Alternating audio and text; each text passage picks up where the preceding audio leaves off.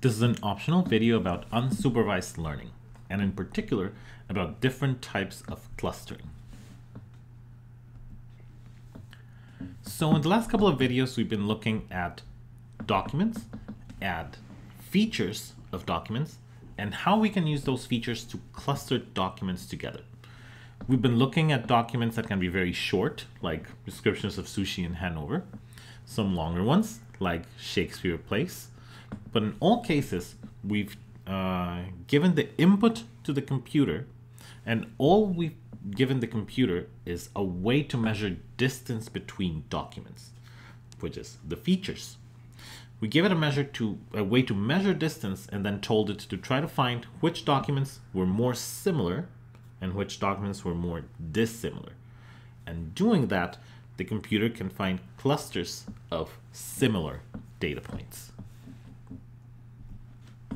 We could do this with um, web pages, for example. We could do this with entire books. We could even do this with entire languages.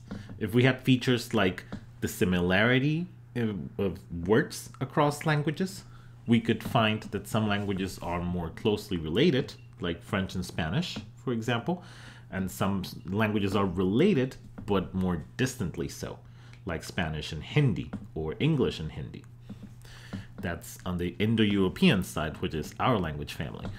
There's many other language families. For example, the Austronesian one includes languages like Hawaiian, Samoan, and Tagalog from the Philippines. As you can see, those languages are related, but Hawaiian and Samoan are more closely related because their features, their words, are more similar than the words between Hawaiian and Tagalog, for example. So in all these cases, we need to figure out how to provide features, how to calculate similarity, and how to, um, what kind of clusters are we expecting to find? Are we expecting to find many? Are they going to be well distinguishable and separated? These are questions that we need to ask ourselves when we try to perform unsupervised learning in general and clustering in particular. Are our clusters well separated so that the computer can clearly find them. Or maybe they overlap. There's some regions where it's difficult to determine whether something belongs to cluster A or to cluster B. How many features are we going to feed into the unsupervised learning system? If we give it a thousand features, the data might be very rich, but the computer might have a very hard time finding um, distinct features in the data. So we need to be smart about how, what kind of features we're going to feed it. Also, we're going to need to figure out how to measure distances between two objects, how to figure out if they're similar or not. We've been using a kind of linear distance where we measure the, the similarity between two objects with a straight line in three-dimensional space, for example.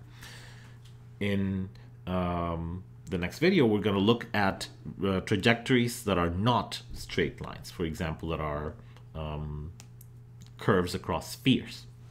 In this video, we're going to focus on the first two questions.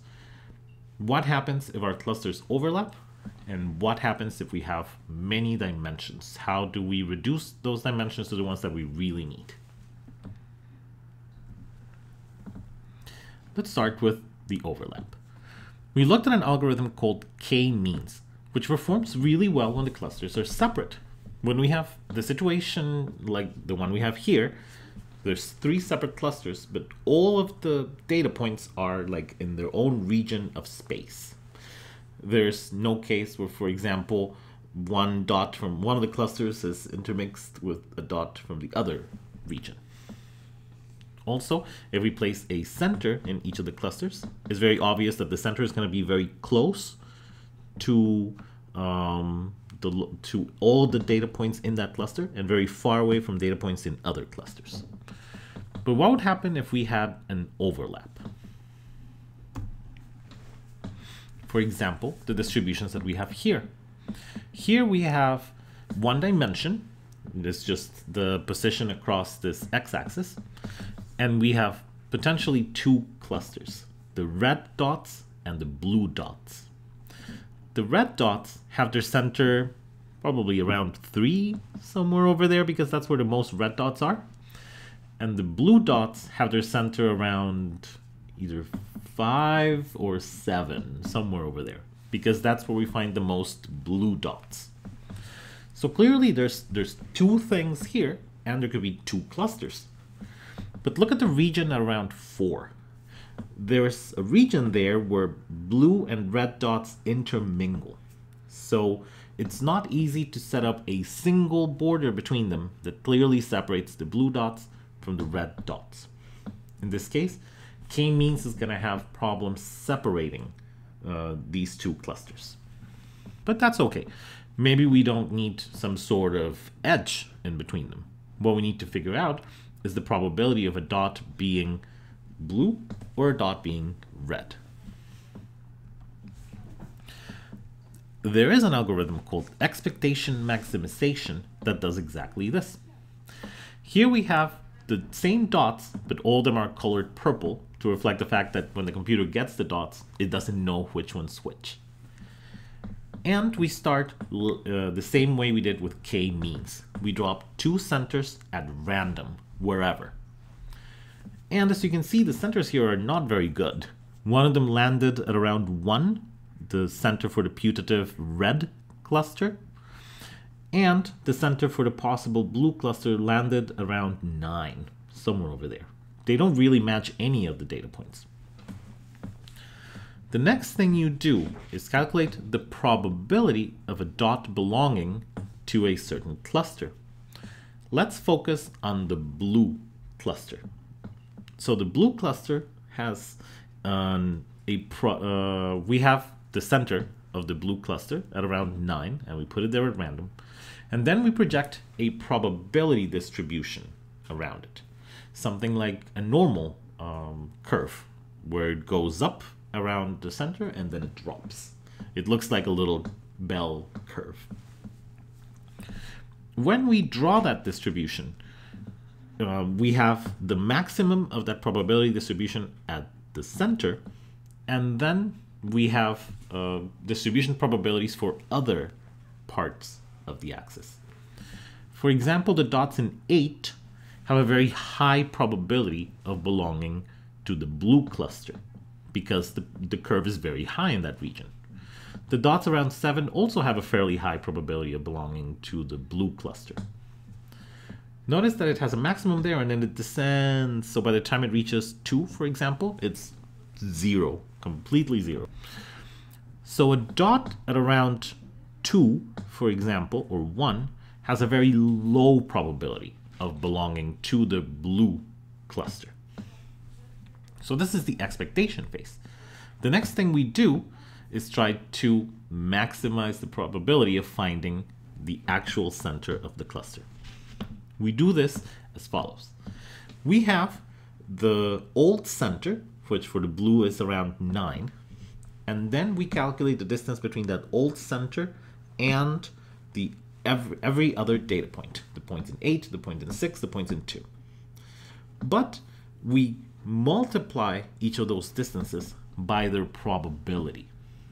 So for example, a dot in 8 is going to have a very high probability. So the multiplication is going to give you a higher result because it's um, going to have a higher number. And this dot will therefore make a high contribution towards finding the average position of the new center. On the other hand, we also calculate the contribution of a dot around 2. But because the distance for that dot is going to be multiplied by a number that is very close to 0, that dot is going to make a, make a very small contribution towards the new center of the blue distribution. So the dots around 8 are going to have a very high contribution. The dots around 2 are going to have a very low contribution.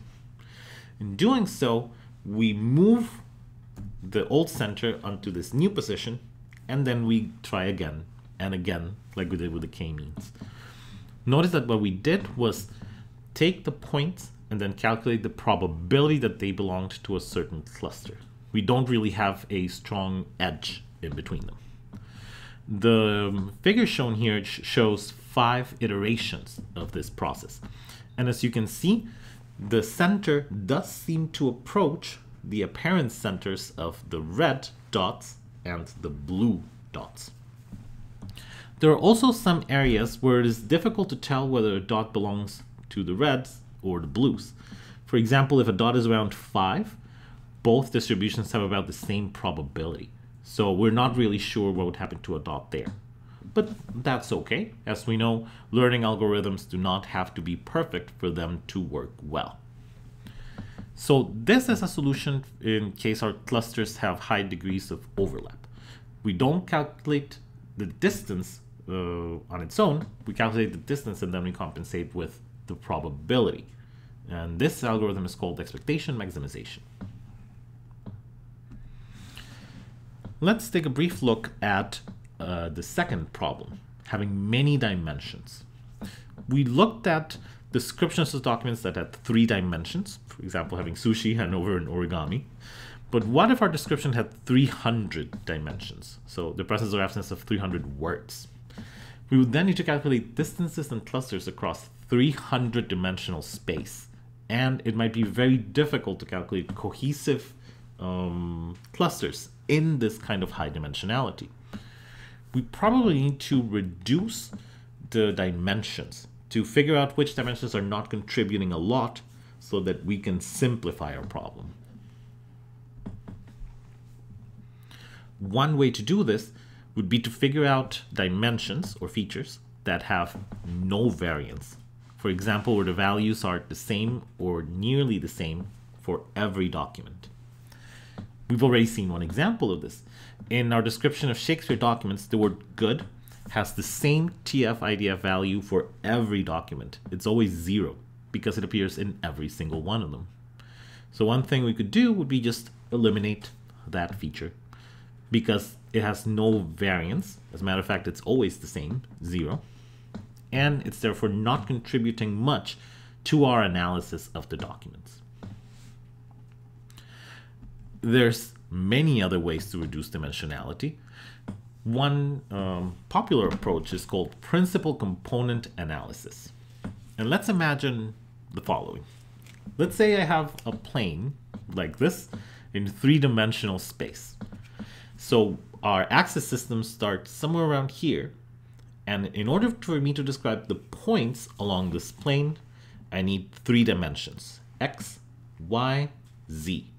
For one edge of my plane, x, y, z for another edge of my plane. So the description of this object is three-dimensional. However, maybe I could squash the three dimensions into two dimensions by describing the dots by their position along an imaginary plane that I can draw here and here. If I rotated this plane so that it looked like this, it would now have two dimensions. One dimension would, would be this one, one dimension would be the other one.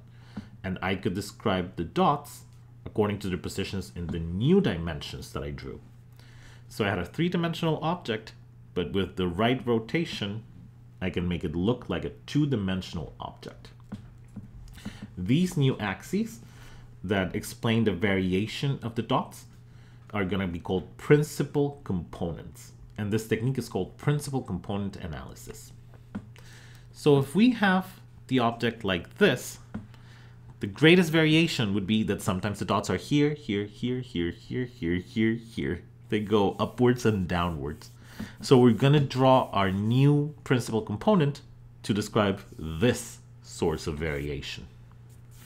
There's another variation where the dots are later lateral to that line.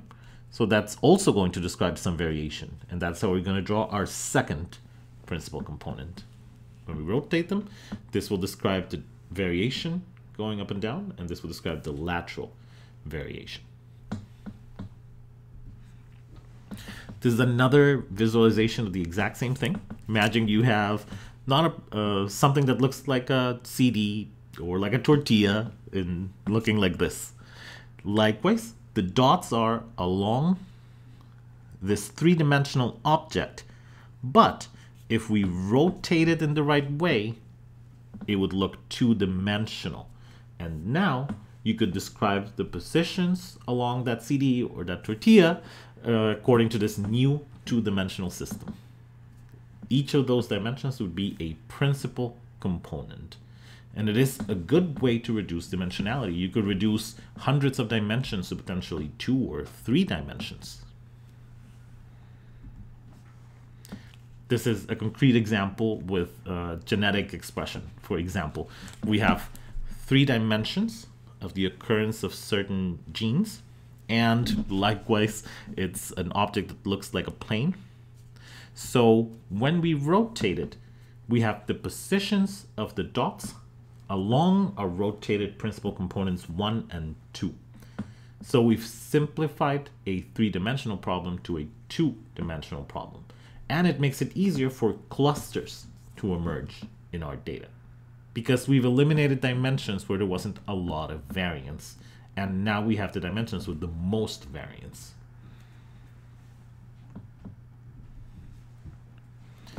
This is a partial summary of what we have so far. There's many algorithms for unsupervised learning and clustering. And we, we're only going to see very few examples. We're, we've looked at k-means, which is very good when clusters are easy to separate. It just drifts around the space looking for places where you can anchor a cluster. Sometimes the clusters are going to overlap, in which case we're going to need probabilistic algorithms like expectation maximization. It drifts around space, but then it draw, doesn't draw a hard border. It draws a probability distribution of a certain dot belonging to a cluster. We also have the problem of dimensionality, where it might be difficult for a program to find clusters if there's too many dimensions. There's algorithms to reduce dimensionality. Some of them are linear, like PCA. So if you remember what we did with the principal component analysis, we made new axes that looked like lines. And when we rotated, they are straight lines. In the next video, we're going to look at nonlinear dimensionality reduction and some popular algorithms to turn, for example, 300 dimensional objects into two dimensional objects.